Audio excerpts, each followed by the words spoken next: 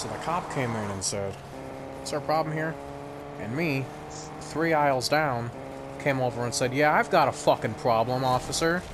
Look, I don't have any choccy milk at home. And then I turned and I walked away. The officer followed me to my home. And he came in and he looked in my refrigerator and saw no choccy milk. So he shot my wife.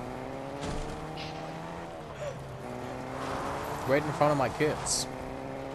I couldn't believe it. I was furious. How could my wife forget the choccy milk? I high-fived the officer afterwards. Serves that bitch right. Oh, fuck's What sake. did we learn here?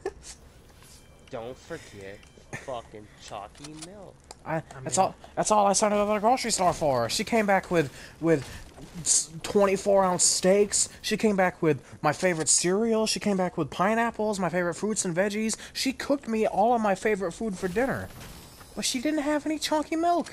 What kind of bitch doesn't get chunky milk? It's ridiculous. It ridiculous. says on the box. It, it, it literally, I put it on a list for her. I gave her a 10 by 10 piece of cardboard and I wrote an entire grocery list down. And the entire list said, in big bold letters, choccy milk. And it's the one fucking thing she couldn't get. The officer and I are hanging out this weekend. My, the, her funeral was scheduled for Tuesday. Uh, I think I'm gonna go boating with him though. Sharing a nice cold glass of choccy milk with the officer sitting on a boat. on a Middle of nothing like a hot day on a boat with some cold choccy milk. You guys want? Uh, most guys bring beer fishing. Nah, fuck that. We bring in a real man's drink, choccy milk. They're like, yeah, you got you got like this big cooler. Like, yeah, boys, crank one up, and it's a bunch of yoo-hoo. like the old Nesquik pouch ones.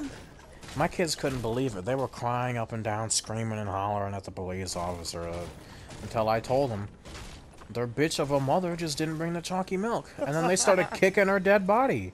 They couldn't believe it either. How could she do such a disservice to to our family? She is the reason for this. The rest of the family couldn't believe when I told them I was happy that she was dead. Until the moment I mentioned she forgot the choccy milk. Then we high-fived. They could